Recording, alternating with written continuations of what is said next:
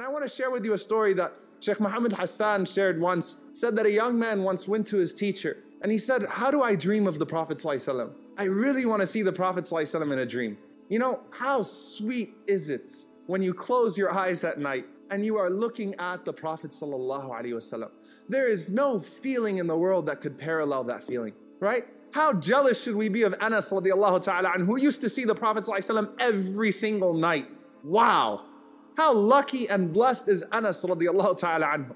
We all want that blessing to see the Prophet ﷺ because the Prophet ﷺ said it also has implications. Whoever sees me in his sleep has indeed seen me. This is a good sign. This is a great bushra. And this young man comes to a sheikh and he says, I want to see the Prophet. ﷺ. He said, Okay, well, let's eat dinner. And he served him a dinner that was full of salt, just threw salt all over the food.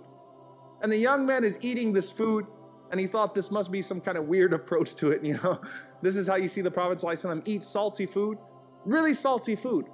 And the Sheikh didn't give him any water to drink. And then he went to sleep that night. And he woke up in the morning and the Sheikh asked him, What did you see last night?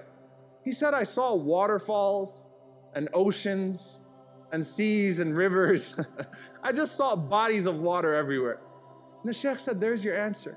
If you desire the Prophet, ﷺ, if you love the Prophet, ﷺ, if he's occupying your thoughts, He's occupying your heart, you will see the Prophet sallallahu alaihi wasallam.